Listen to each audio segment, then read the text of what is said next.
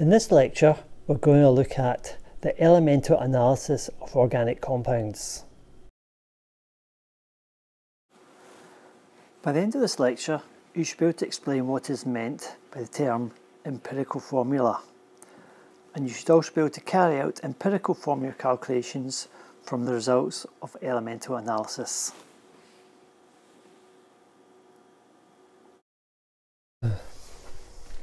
Right, so far in Unit 2 we've covered molecular structure, molecular orbitals, stereochemistry and the huge synthesis section. So we've just got experimental determination of structure and the very short pharmaceutical chemistry left to do. So today we're going to look at the start of the experimental determination of structure. Now as you might have noticed in the organic synthesis experiments you've done so far, very often in organic chemistry you end up with a white powder or a colourless liquid. There's not a huge amount of colour or variety in the looks of these organic compounds. So the question is how do we find out definitively what the structure of the compound we made is? Okay. And that's the question we're going to answer by looking at the experimental, experimental determination of structure. And we're going to use four different techniques or at least learn about four different techniques which will allow us to get a white powder and actually find out what the structure of the compound is. We're going to look at elemental analysis, mass spectrometry, infrared spectroscopy and NMR. Now not one of these techniques on its own is probably not enough to determine the structure of your compound but if you combine them very often you can get a definitive answer to the question, what have I made? Today we're going to look at elemental analysis. So what is elemental analysis? Well basically it tells you how much of each element you have in your unknown compound. You'd weigh out a known amount of your sample and then burn it in that excess of oxygen so any carbon that is in your sample will be converted into carbon dioxide. So by measuring the volume of carbon dioxide produced, you can work out how much of your sample is carbon. All the hydrogen in your sample will turn into H2O. So by measuring the quantity of H2O produced, you can work out how much hydrogen is in your sample. And for most organic compounds, tend to be made up of carbon, hydrogen and oxygen. The oxygen we just find out by difference. So if we know we burnt one gram of the sample, we found out 0.8 grams of that was carbon, 0.1 grams was hydrogen, then the remaining 0.1 gram must be the oxygen. Occasionally you will get other elements in your organic sample. For example, if you had sulfur, you would know because you produce sulfur dioxide gas. And by measuring the volume of sulfur dioxide gas, you know how much sulfur is in your sample. And sometimes you'll have nitrogen in your sample. The analysis for the nitrogen is a wee bit more complicated because on, on combustion you'll produce a range of nitrous of nitrogen oxide gases. Nitrogen monoxide nitrogen dioxide nitrogen trioxide. These then get reduced to nitrogen and hence we can by measuring the volume of nitrogen produced we can work out the mass of nitrogen in the original sample. So by elemental analysis we'll get the mass of each of the elements present in our sample and from that we can work out something called the empirical formula. So the result of our elemental analysis will be to get the empirical formula. Okay. So for example, if it was ethene that was our unknown sample, our empirical formula would come out at CH2 so it's not actually the molecular formula of ethene, it's just telling us the simplest ratio of one element to another in that sample. We need further information, usually obtained from mass spectrometry, to determine the gram formula mass of the sample to allow us to convert the empirical formula into a molecular formula. So for mass spectrometry, we might be told that the gram formula mass of the sample was 28 grams. That when it comes to 14 grams. So if we know our gram formula mass is 28 grams, we've got to keep that one carbon to two hydrogen ratio. So the molecular formula must be C2H4. Okay. So in itself, the elemental analysis just gives you this empirical formula, but you then use it in combination with the results from the other techniques to work out the actual molecular formula. Okay, let's try a few simple examples. Okay, so elemental analysis of an organic compound revealed that it contained 1.2 grams of carbon, 0.3 grams of hydrogen and 0.8 grams of oxygen determine its empirical formula. Okay, so we've got carbon, hydrogen and oxygen.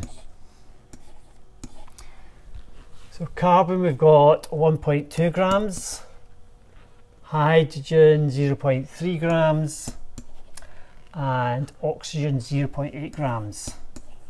So there's a nice sort of set technique you can use that will convert that into an empirical formula. First thing you do is divide each of these masses by the relative atomic mass of the of the atom. So for carbon it's 12, so 1.2 divided by 12 is going to give me 0.1. For hydrogen the relative atomic mass is 1, so 0.3 divided by 1 will be 0.3 and for oxygen it's 16 so 0.8 divided by 16 is 0.05 okay. Check those numbers are right yep then what we do is we look at these three numbers we identify which one is the smallest so in this case 0.05 is the smallest number. So what we then do is divide each number by the smallest. So divide by smallest, which in this case is 0.05. So 0.1 divided by 0.05 is 2. 0.3 divided by 0.05 is 6 and 0.05 divided by 0.05 is 1. So our empirical formula then is C2H6O. Okay. This may or may not be the same as molecular formula.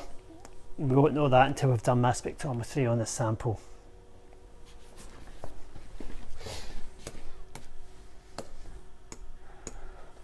Okay, another way they might ask this question is Elemental analysis of an organic compound revealed that it contained 57.9% carbon, 8.4% hydrogen and 33.7% nitrogen to determine its empirical formula.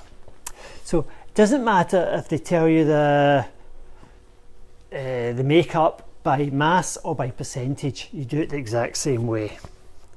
So we've got carbon, hydrogen and nitrogen We've got 57.9% of that, 8.4% hydrogen, 33.7% nitrogen.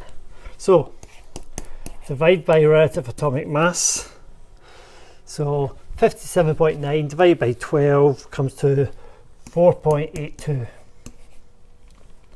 8.4 divided by 1, 8.4.